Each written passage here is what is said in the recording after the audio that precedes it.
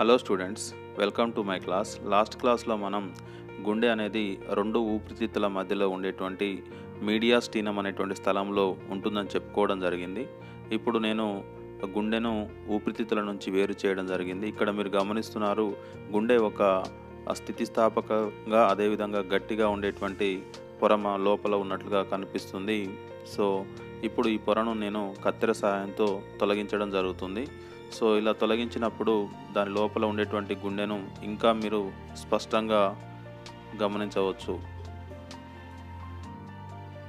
ఇప్పుడు గుండె యొక్క నిర్మాణాన్ని కనుక గమనించినట్లయితే అది పైవైపు చాలా వెడల్పుగా అదేవిధంగా కింది వైపు మొనతేలినట్లుగా కనిపిస్తుంది. అదేవిధంగా గుండెకు కొన్ని రక్తనాళాలు కూడా అతికినట్టుగా మనకు స్పష్టంగా తెలవడం జరుగుతుంది.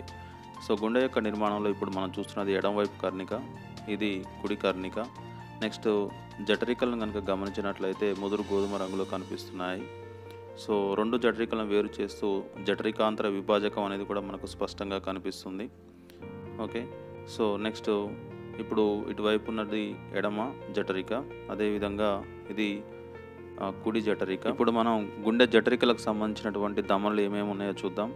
సో మొదటి దమని రెండుగా విడిపోయింది మనం గమనిస్తూనే ఉన్నాం. ఇంకొక దమని కూడా చూడండి. ఇది కూడా రెండు శాఖలుగా విడిపోయినట్లుగా కనిపిస్తుంది. దీన్నే మనం దైహిక దమని అని చెప్పడం జరుగుతుంది. ఇంకా మొదటి దమని ఏదైతే రెండుగా రెండు శాఖలుగా విడిపోయిందో సో దానిని మనం పుప్సదమని అని చెప్పడం జరుగుతుంది. సో ఈ పుప్సదమని అనేది రెండు శాఖలుగా విడిపోయి రెండు ఊపిరితిత్తులకు రక్తాన్ని చెడు రక్తాన్ని సరఫరా చేయడం జరుగుతుంది. ఓకే? రైట్. సో నా ఇక్కడ చూసి ఇక్కడ గమనిస్తే మనకు ఈ రెండు దమన్లు కూడా జఠరికల యొక్క లోపల నుంచి వస్తున్నట్టుగా కనిపిస్తుంది. ఎందుకంటే కర్ణికలు దేనికి అవి సపరేట్గా ఉన్నాయి. సో చూడండి స్పష్టంగా మనకు జఠరికల యొక్క లోపలి తలం నుండి వస్తున్నట్లుగా కనిపించడం జరుగుతుంది.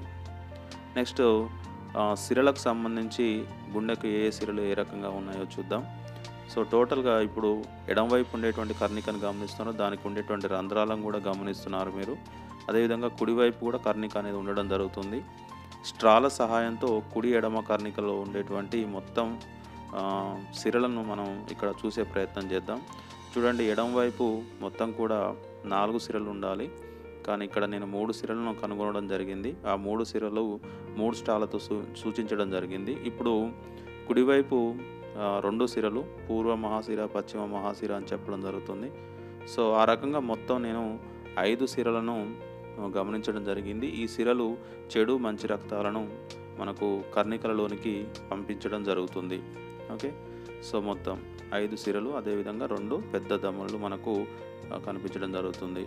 ఇప్పుడు గుండె యొక్క అంతర్నిర్మాణాన్ని కనుక పరిశీలించినట్లయితే ఒక స్కాల్పెల్ సహాయంతో మనం కింది భాగం నుండి పైవైపు గుండెను నెమ్మదిగా కత్తిరించే ప్రయత్నం చేయడం జరుగుతుంది. సో నెమ్మదిగా మనం ఎప్పుడైతే గుండెను కింది నుంచి పైకి కత్తిరించి వాటి యొక్క రెండు భాగాలను కనుక ఓపెన్ చేసినప్పుడు దాంట్లో మనకు స్పష్టంగా గుండెలో ఉండేటువంటి గదులు అనేవి కనిపించడం జరుగుతుంది. చూద్దాం. చూడండి. సో రెండు సమాన భాగాలు అనేవి ఇక్కడ రావడం జరిగింది. ఆ తర్వాత పైన ఉండేటువంటి భాగాన్ని నేను తొలగించడం జరిగింది. ఇప్పుడు మనకు ఇక్కడ మనకు కర్ణికలు జట్రికలు అనే భాగాలు స్పష్టంగా కనిపిస్తున్నాయి. పైవైపు ఉండేటువంటి కర్ణికలు చాలా లేత గోడలు అదేవిధంగా కింది వైపు జట్రికలు అనేవి చాలా మందమైన గోడలను కలిగి ఉండడం జరిగింది. సో దాని యొక్క లేబులింగ్ అనేది చూడండి ఇక్కడ. ఓకే.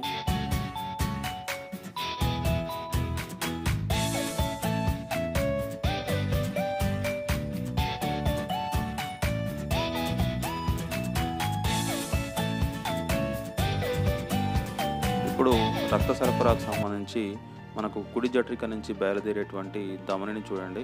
సో ఈ దమని అనేది రెండు దమలుగా విడిపోతుంది. ఎందుకంటే స్ట్రా అనేది కుడి జట్రిక నుంచి ప్రవేశపెట్టినప్పుడు రెండు దమనులోకి ప్రయాణిస్తుంది. ఇది ఇంతవరకు చెప్పుకున్నట్టుగా పుప్సదమని ఇప్పుడు చూశారు పుప్సదమని అనేది కుడి జట్రిక నుంచి బయలుదేరుతుంది. ఎందుకంటే కుడివైపు చెడు రక్తం వస్తుంది. ఆ చెడు రక్తాన్ని ఈ రెండు దమనులు అనేవి ఊపిరితిత్తులలోనికి ప్రయాణింపజేయడం జరుగుతుంది. నెక్స్ట్ చూడండి ఆ రకంగా వచ్చినటువంటి మంచి రక్తం అనేది ఎడమ కర్ణికలోకి వస్తుంది. ఆ ఎడమ కర్ణిక నుంచి స్ట్రాను మనం ఎడమ జట్రికలోకి ప్రవేశపెట్టడం జరిగింది. సో ఇప్పుడు మళ్ళీ ఎడమ జట్రిక నుంచి నేను స్ట్రాను పెట్టినప్పుడు అది దమనిలోకి పోతుంది. మహాదమని మనకు తెలిసినటువంటిదే. సో ఈ మహాధమనిలో చిన్న చిన్న రక్తనాళాలు మూడు అనేవి ఉండడం జరుగుతాయి అవి దేహం యొక్క పూర్వ భాగాలకు. అదేవిధంగా కొంచెం సైజులో పెద్దగా కనిపించే స్ట్రా మొత్తం బయటికి వెళ్ళినటువంటి ఆ దమన ఏదైతే ఉందో అది దేహం యొక్క పరభాగాలకు రక్తాన్ని సరఫరా చేస్తున్నటువంటి విషయం మనందరికీ స్పష్టంగా తెలిసినటువంటిదే. అంటే మంచి రక్తం అనేది ఎడం వైపు నుంచి దేహంలోని అన్ని భాగాలకు రవాణా కావించబడుతుందని మనకు ఈ దమనని చూస్తే స్పష్టంగా అర్థం కావడం జరుగుతుంది. నెక్స్ట్ ఈ దమనలో ఉండేటువంటి కవాటాలను మనం అర్ధచంద్రాకార కవాటాలని చెప్పడం జరుగుతుంది సెమిలినార్ వాల్స్ సో చూడండి ఇక్కడ మనకు చాలా క్లియర్గా కనిపిస్తున్నాయి. అవన్నీ కూడా అర్ధచంద్రాకార కవాటాలు అనేవి సో ఇది ఫ్రెండ్స్ గుండె యొక్క బాహ్య మరియు అంతర్నిర్మాణానికి సంబంధించినటువంటి సమాచారం. Okay thank you for watching this